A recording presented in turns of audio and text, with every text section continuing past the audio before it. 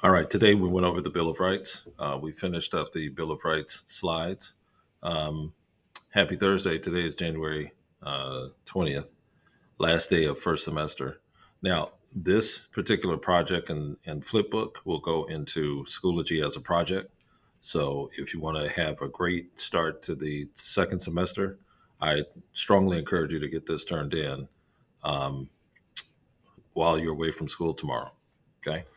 So I'm going to get out of the presentation mode here so you can see the whole thing. And this is probably how it'll look on your slide on your end. Now, uh, for slides two, three, and four, uh, please go to YouTube and look at the, the video for the 19th, I believe it is, the Bill of Rights. And uh, I go over the notes that should appear in uh, those slides. All right. Today, I just gave everyone the uh, Bill of Rights, uh, the first 10 amendments of the Constitution. So I'll show each of these. Okay. If you want to copy them from here, that's fine. They're also in your textbook. Uh, excuse me, in chapter 7, uh, 3.3, there's a nice little chart in there. And most of them, most of these came from that chart. Okay. So here's the slideshow.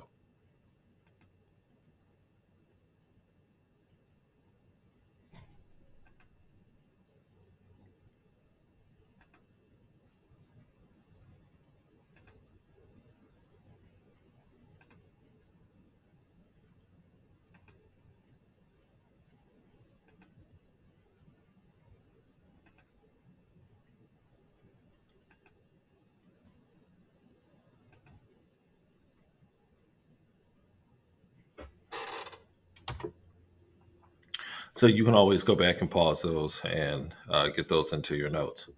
Now, on this very last slide, you want to copy and paste the first sentence of the last paragraph. And let me see if I still have my book open. I do. Awesome. All right.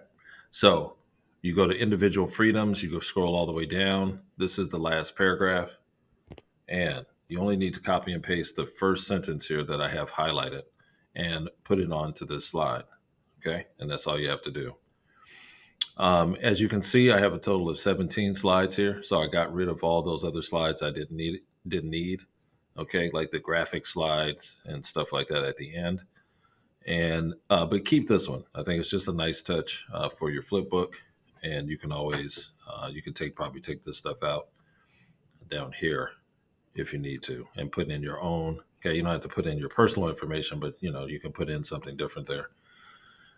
Then, once that is done, you're going to uh, open up a new tab and go to uh, what's this called? FlipSnack. Okay. Uh, please sign in. And when you sign in, apparently I was already signed in, but when you sign in, sign in with Google. All right. Sign in with Google. And this particular app is going to let you turn your um, Google Slides into a PDF. So as you can see, I already have one here, but let me just take you through the process. I'm gonna get rid of this one. And let's take you through the process.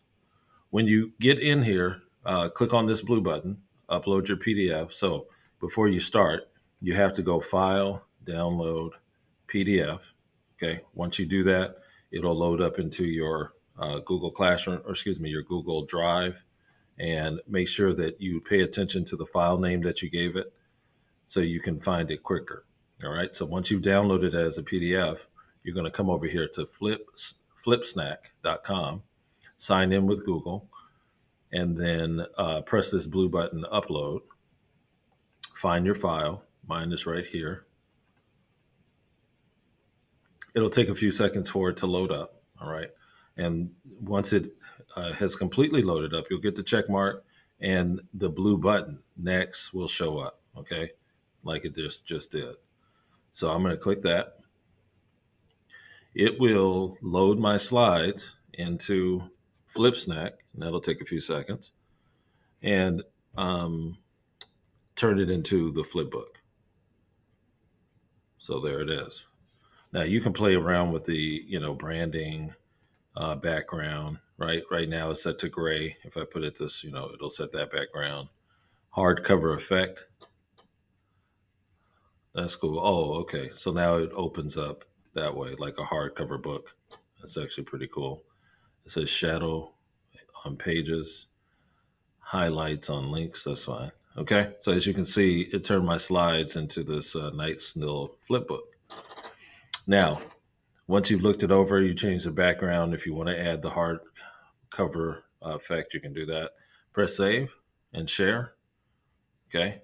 Uh, it'll be public. And then make sure you press uh, publish. And then you'll see your preview. Now, back at the top of this page, here, this is what I need from you in order to give you credit for it in Schoology for its second semester. You need to make a copy of this, of this share link right here. Okay. So press copy. Then you're going to go over to your Google Classroom and look for an assignment post called Share Your Flipbook Bill of Rights. When you do that, okay, it's going to take you to this form. Okay, type in your name, put the period that you belong to, and then you're going to copy and paste that link that you just copied right here and then press submit. All right. And that's how I'll get it. As you can see, you know, almost 80 people have already turned theirs in so far. All right. Now I'll take this and then I'll, um, you know, take a look at them and put the give you credit in Schoology once second semester starts. All right. So that's a great way uh, to get a good start to second semester with a project uh, that's worth about 15% of your grade. All right. So with that, um, you know, go to Schoology, send me a question if you have any questions, but hopefully that was clear. All right. And we will see you on Monday. Have a good one.